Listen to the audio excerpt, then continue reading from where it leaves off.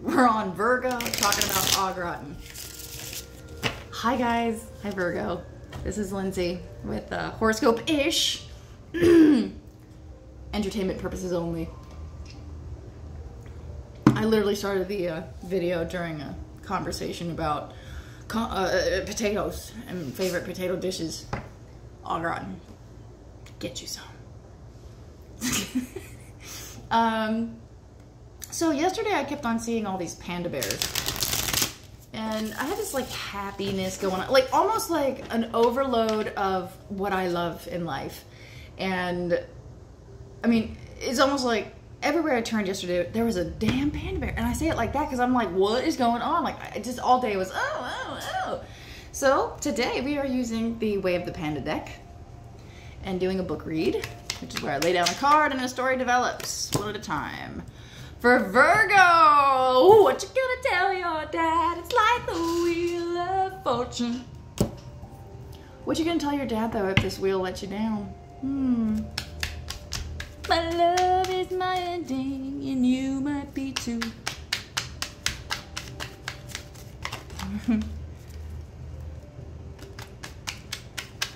I feel like that was incredibly chaotic energy, Virgo, but you get it. So, uh, Wheel of Fortune. Things are changing. Okay. Virgo, did you have something amazing happen in your life recently? Because it's almost like things are changing. What are you going to tell your dad? Ace of Base is coming up for this. I love this. Oh, was that a brand new opportunity? Okay, uh, I almost feel like Virgo, like it's your time. Um, anytime I see clouds, I definitely, uh, uh, you know, aces to me are like, there you go, from the universe. God, source. It's all energy, baby. It's all energy. So, so things are turning in your favor because that Ace of Pentacles is like, that's it. That's definitely in your favor. I just tried to shuffle these upside down. Virgo, all the cards are on the table. Everything is exposed. Everything that that would need. Everything has come to a completion, tied off like a pretty bow. Because here's the Ace of Pentacles. Why? You're about to be handed something that belongs to you, Virgo. Um, and it's almost like, oh, there it is. Thank you. Leave it right there. You know the scene off of um, Christmas Vacation when uh, the mail carrier hands Clark his um, something. He's like, sorry, it got stuck in between my seat. I didn't see it until now. And Clark thinks that he's getting uh, his Christmas bonus from his company. And it ends up not being a Christmas bonus. It ends up being a Christmas slap in the face. And then he loses it, and then he finally gets way more than he, uh, he doesn't lose it. He says, that's enough. So Virgo, maybe you've said recently, that's enough.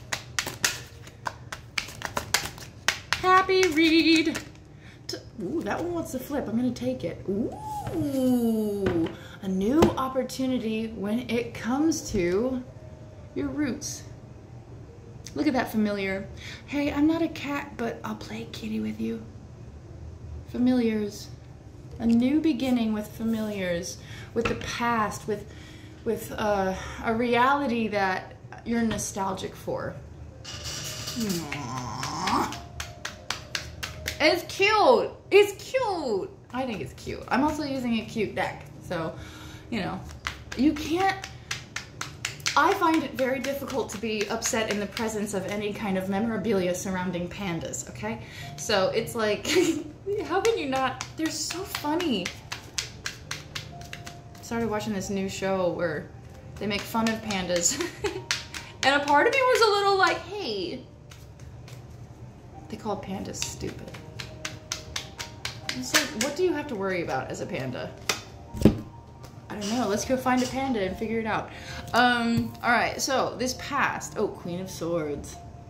All right. So you can see this one of two ways, or one of several ways actually. But the way I see it is protecting um, an inner child or protecting a child. Um, there's a new beginning when it comes to the past, and perhaps this has to do with you. Um, guarding a child. Uh, in good faith, I see these uh, feathers falling. Like you're, like it's it's. You have faith, a lot of faith. Now we have this guy. What is that? The page. Knight. Eight. We're fine. Eight of Pentacles. This is about patience. Maybe patience with the child. Um, like analyzing. Like patience isn't even. Sometimes when I think of the word patience, I think uh, waiting to understand better. Like you're trying to understand better. Look at how this panda is like looking at what it has. Like I, what what how I must analyze this. So patience in uh,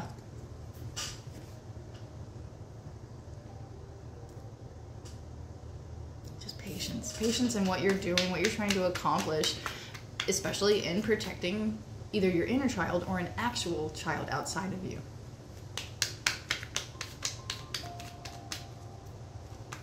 You're having some patience, you're analyzing. Ha! Virgo, analyze. Hmm. What? That's uncharacteristic. I'm lying. That is sarcasm.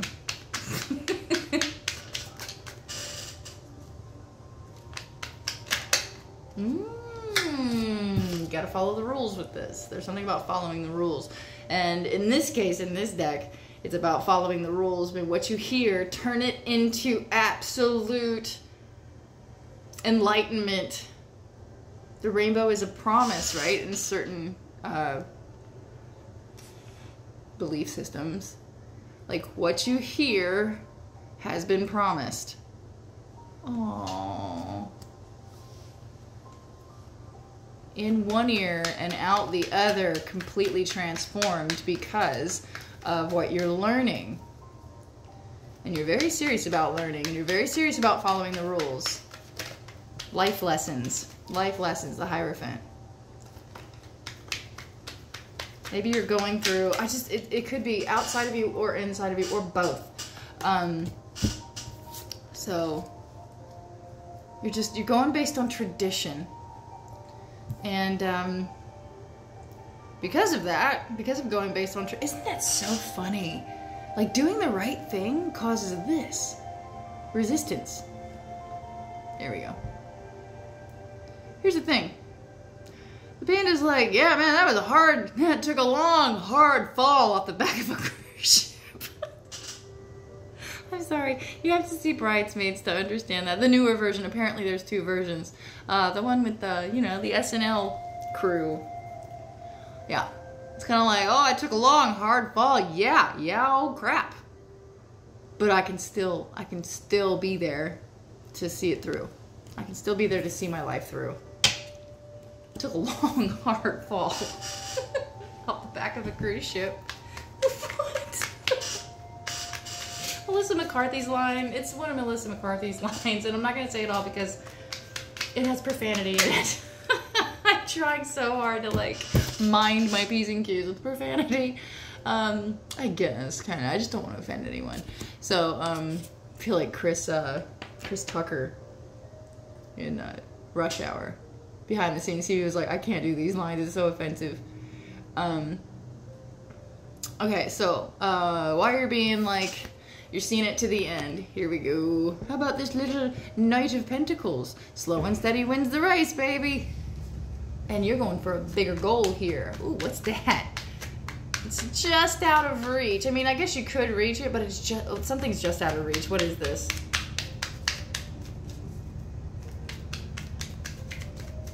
Slow and steady. Routine.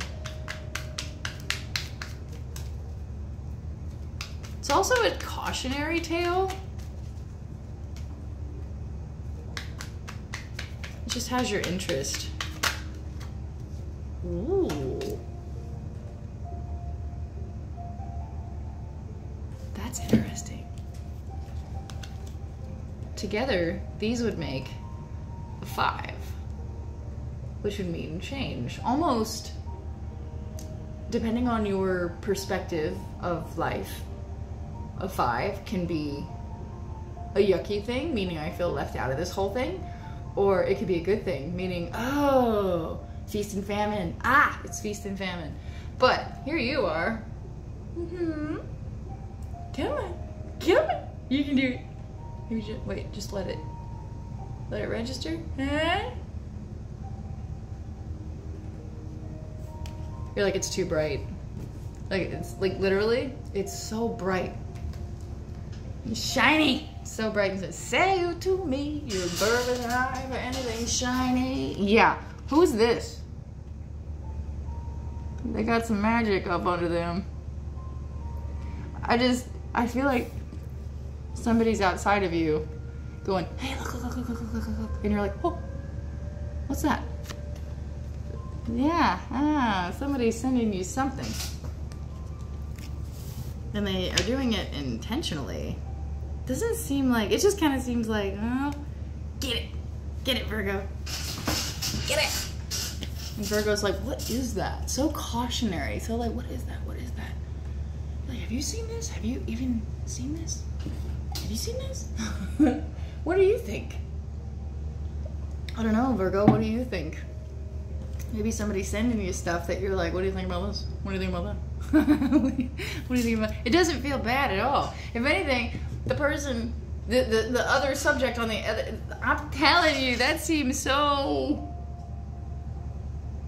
Oh, it's different though. You're going for something that's already in front of you. There's another energy that's Ooh, Virgo thinks it's a distraction. Mm.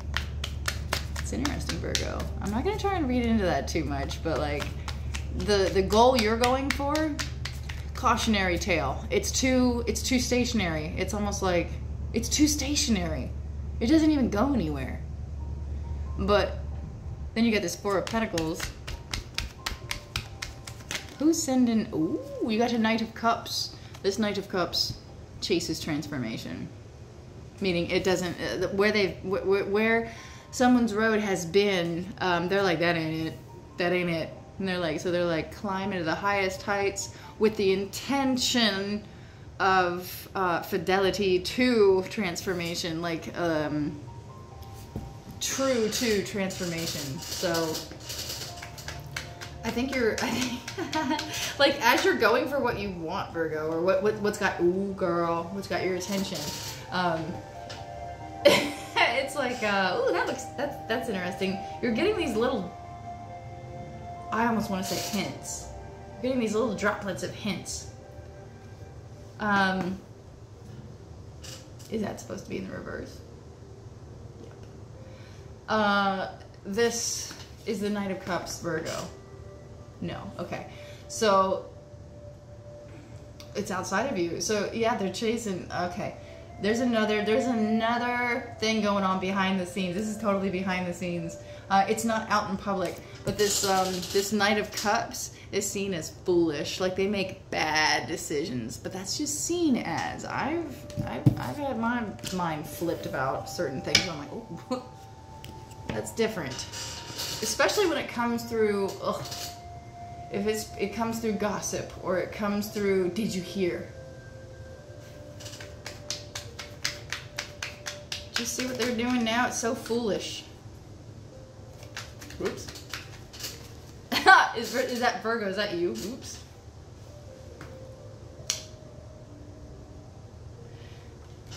There's something that's distracting you virgo that is it's seemingly foolish. I mean maybe it is foolish but it doesn't it doesn't like it's like something that's like an, almost an arrested development on a on a outer level. It, it can't develop. I mean it can't even move forward. Six of wands? It can't it like this this, this individual who's behind the scenes is like they're not they're not getting any credit for sure. Like no one's no one's acknowledging them because they're being foolish But it's not true, is it? That's so interesting. It's all about perspective. Maybe you see them as foolish and um, not going anywhere, um, and just just foolhardy, man. Fool. and it's so. we all know who sings that song. Okay. Um, was isn't it Ur- Ursula one of those uh, Disney villains that, like, oh, they're so misunderstood. Maybe this person is seen as a villain. Ooh. I know a different side to villains. Okay. Gotcha, gotcha, gotcha. What else you got for Virgo?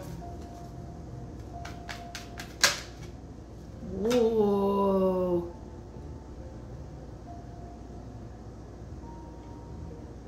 Now, Nine of Swords comes up.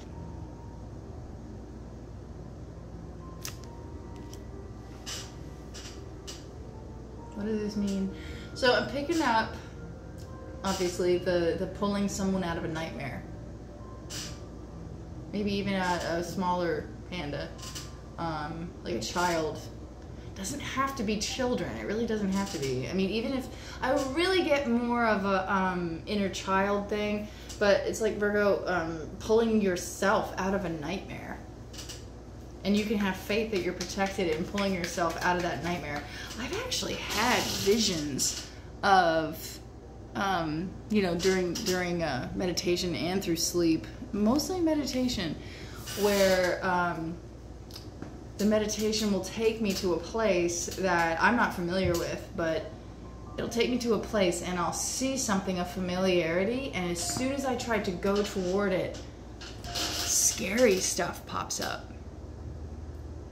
And the last vision I had where scary stuff popped up, um, I told, I like consciously made an effort to tell the the baddies, the yuckies, to, to get away from me. I'm going over here whether you like it or not. And they dissipate.